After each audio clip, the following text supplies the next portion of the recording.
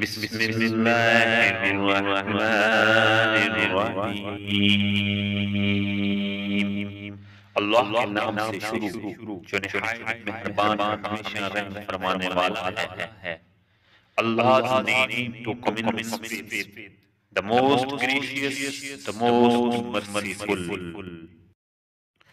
للذين يؤلون من نسائهم تربص أربعة أشهر فإن فعوا فإن الله غفور رحيم وہ جو قسم کھا بیٹھتے ہیں اپنی عورتوں کے پاس جانے کی، انہیں چار مہینے کی مہلت ہے۔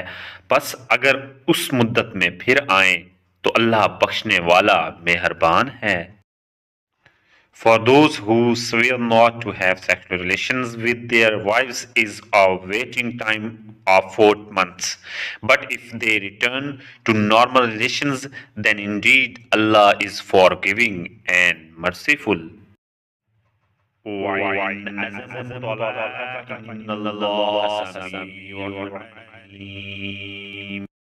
اور اگر چھوڑ دینے کا ارادہ پکا کر لیا تو اللہ سنتا جانتا ہے And if they decided on divorce, then indeed Allah is hearing and knowing.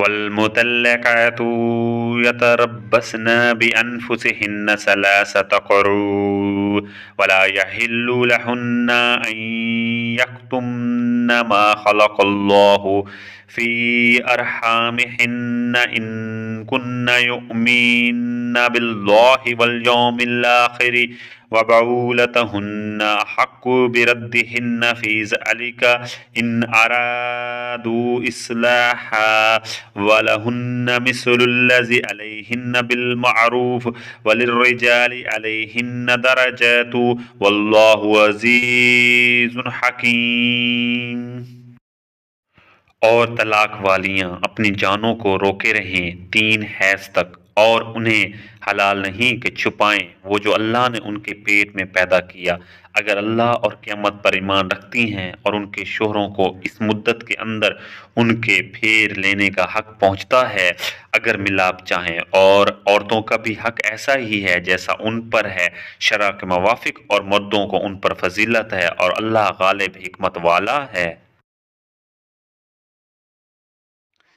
Divorced women remain in waiting for three periods, and it is not lawful for them to conceal what Allah has created in their wombs.